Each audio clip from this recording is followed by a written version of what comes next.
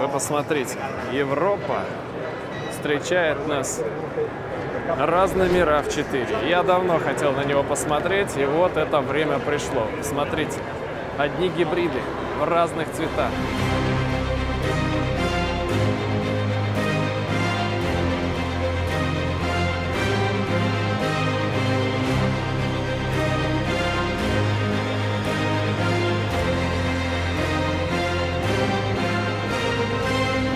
Гибрид, э, почитаем сейчас, что, что это значит у нас. Это значит 4,5 литра на 100 километров. Это значит, что версия 2 ВД, ужас. Ну что за дела? 2,5 двигатель, 170 лошадиных сил, 8,4 разгон, 221 ньютон-метр. Передний привод, друзья. О, черт побери, ну нет, ну такие RAV4 мы не хотим. Зачем нам переднеприводный RAV4? Сделайте полный, конечно же, привод. Вот белый, красивый, с черным. Черные диски, черные накладки. Причем они почему-то все крашеные. Какого черта они все крашеные, скажите мне? Лакированные. Это же не очень практично. Хотя это гибрид, как вы понимаете. Это значит, что практично, непрактично, это уже изначально непрактично. Зато голубой значок и зато злющая морда.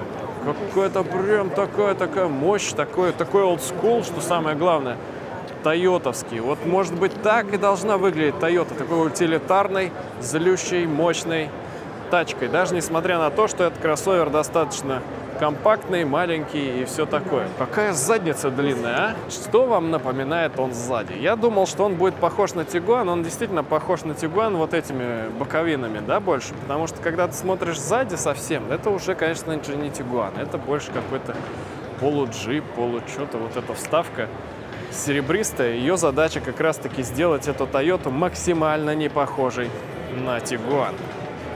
И мне кажется, у них даже получилось что-то в этом роде. Вот, самое главное, друзья, есть, есть все-таки накладки э, на машине, именно не крашеные.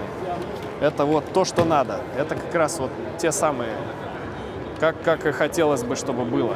Почти что непростые фары, злющие. Вы посмотрите на эту морду. Да, что-то вдруг пошло не так, и они решили совершенно дизайн свой изменить. Ну давайте заглянем в интерьер. Вот более-менее простая такая версия. Но здесь нормально сделано, все без проблем. На кнопках никаких обозначений, что автостеклоподъемники, например. Это значит, что их, скорее всего, нет. Electric Mode. Так, дисплей большой. Ты вроде бы даже уже воспринимаешь Toyota RAV4 как неплохой автомобиль.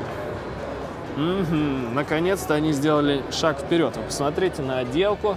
Все мягко, все даже прострочечка какие-то, какой-то дизайн, ну какой брутальный такой дизайн. Вот, вот уж делайте, да, если просто, то сочетайте вместе с брутальным дизайном. Посмотрите, крутилочки какие-то, такие, блин, турбулентные немножко. Ну, выглядит неплохо, выглядит неплохо. Ну, как неплохо? Ну, вот все равно такой простотой немножко отдает. Единственное, что не отдает простотой, это, конечно же, панель приборов. Тем более у нас это еще и гибридная модификация. То есть она вот вся вот такая вот из себя выпендрежная. Полочка, как и во всех Тойотах, это всегда должно быть немножко какой-то болтающийся бардачок, но это хрен бы с ним. Даже удобные сидушки, тоже это, это уже плюсик какой-то. Беспроводная зарядка. Рычаг такой хитрый, естественно, понятно, гибридная версия. Ну и непростой климат-контроль. И, конечно же, в новой стилистике все вот эти кнопочки тойотовские, они сделаны такими пиндюринками. На самом деле, сейчас посмотрим, как это выглядит с заднего ряда. Вот.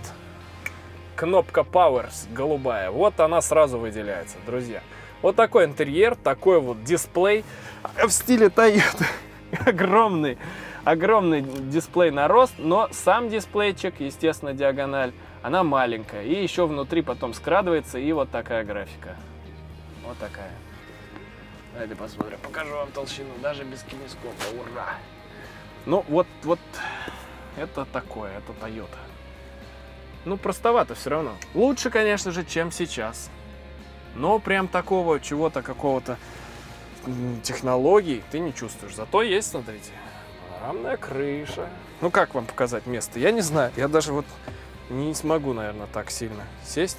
Ну, в принципе, прям, прям, прям дофига места. Это прям чувствуется. Влезаешь сам за собой, отлично сидишь, хорошо, спинки наклоняются, багажничек здоровый, все, что вам нужно. В принципе, для Toyota больше ничего не нужно. Ее и так будут брать. Давайте откроем багажник, потому что это одно из самых важных Toyota RAV4. С накладками аж на двери. Всегда багажник у Toyota достаточно низкий. И как вы сейчас можете видеть, в принципе, вот, вот так вы, наверное, можете видеть. Как раз таки на уровне коленей, то есть это все они сохранили. Багажник большой, простой и такой, как вам нужен для того, чтобы увезти все, что только можно. JBL еще тут, на всякий случай, вам в багажник, чтобы бомбило прямо из багажника. Все было окей. Так, здесь запасочки, конечно же, нету. Сейчас мы попробуем заглянуть вниз. Здесь тоже нет запасочки, друзья. Ручка, ну, кнопка в стиле Toyota, знаете, как будто ее в грязи надо измазать. И тогда она вот не зря такая называется. Чтобы ты потом керхером ее помыл и окей.